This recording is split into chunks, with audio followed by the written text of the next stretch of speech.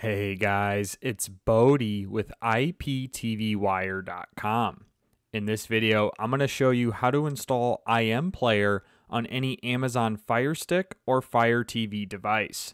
Now, for those unfamiliar, IM Player is a popular live TV player that can be used to pair with your favorite live TV services for an improved user interface. Now, I have a complete screenshot guide with more details and information on IM Player and you can find a link to this in the description below. But before diving in too much further, it is important to note that IM Player is available inside the Google Play Store. As you'll see here, it has over 100,000 downloads, and because it is inside Google Play, we can be sure that this application is 100% legal to install and use on our devices. Now, since IM Player is not available inside the Amazon App Store, we must sideload this live TV player on any Fire Stick or Fire TV device. In this example, I'm using an Amazon Fire Stick 4K Max, but this will work on any variation of the Amazon Fire Stick 4K or Fire TV device. So the first thing you'll want to do is hover over Home from the main screen, and then hover over Find, click Search, and now we're going to type in Downloader. And once you see downloader appears here, click downloader. Click the orange icon under apps and games. Wait a few seconds. Then click download. And we're going to wait a few seconds for downloader to install on our device.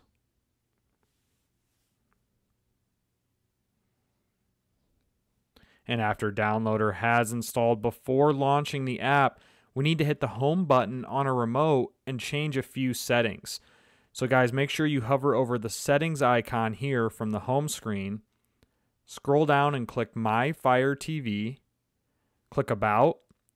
Then click Fire TV Stick 4K Max or whatever this says here until you see the following message. No need, you are already a developer.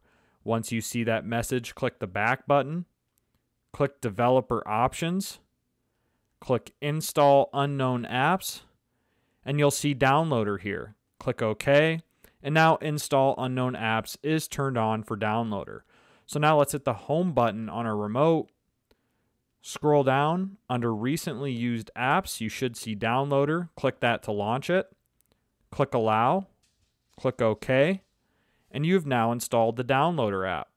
So after you've installed the downloader app, the next step to installing IM Player is to click the search box here and we're going to enter the following code 298344.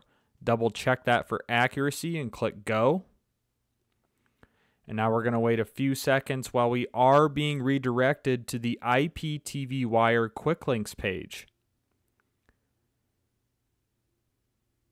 And once you have landed on the quick links page, guys, the first thing I would suggest doing is coming up to the top and clicking this icon on the top right with the three lines. I'd click add current page to favorites, click save, and now our quick links page is saved inside your favorites. One other thing I always like to do is X out of these messages sometimes that will pop up. But all right, to install IM Player, once you're on the quick links page, simply scroll down and you'll see all these different options for live TV players. So right here, you'll see IM player. Let's click that. And we're going to wait a few seconds now for the application to download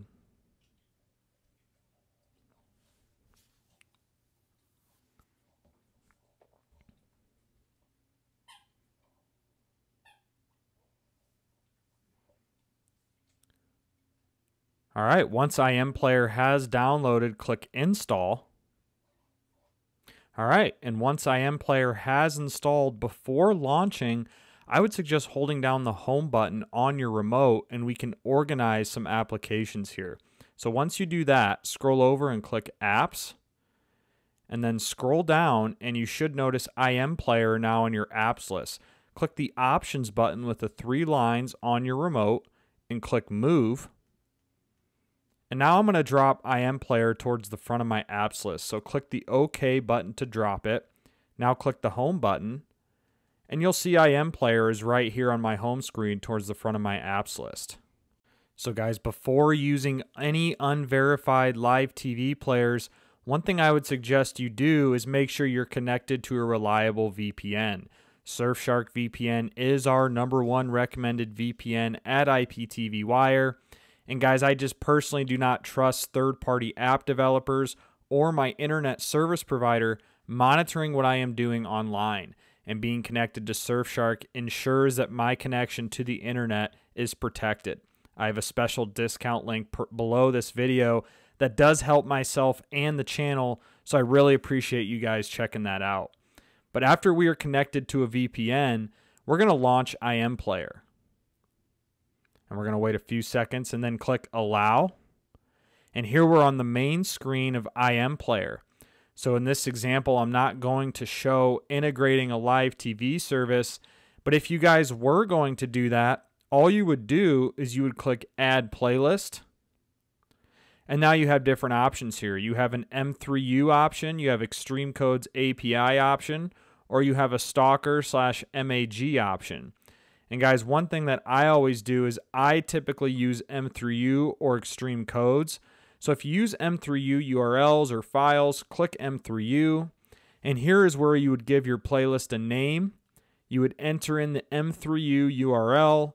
Here you would enter the EPG URL or a electronic program guide URL if given one. You could ignore the VOD if you want. And then once you enter in that information, you would click add, and then your service would populate here within IM Player. And the same process works for Xtream Codes API. Name Xtream Codes whatever you want, the portal URL, and then our username and password provided by your live TV service. So, guys, that's it. I mean, now you have installed IM Player on your Fire Stick or Fire TV device. Again, this is Bodhi. I really appreciate you watching this video. Like, share, subscribe, leave a comment below. Hope you guys have a great day, and I look forward to releasing more content like this in the near future.